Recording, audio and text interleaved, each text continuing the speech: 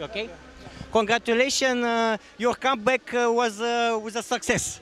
Yeah, first time for Chesamet to have this Super Cup title, so of course we're very happy about that. Actually, the game was as expected. Uh, too many mistakes, good defense. We worked on that part, but after four trainings, of course, I'm uh, very happy that we won. You have uh, some new players. So what do you think about them?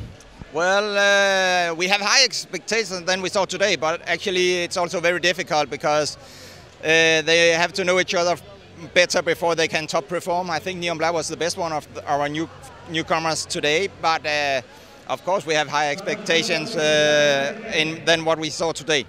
Can just uh, CSM București repeat the performance from last year? Yeah, we have to build it up, make sure that the team will perform better and better. This was uh, uh, the first one here, and of course we are happy about that. And then we have one month here where we will play only Romanian League, and I hope that we can continue to develop and then be ready for Rostov in Champions League. Good luck. Thank you. Thank you.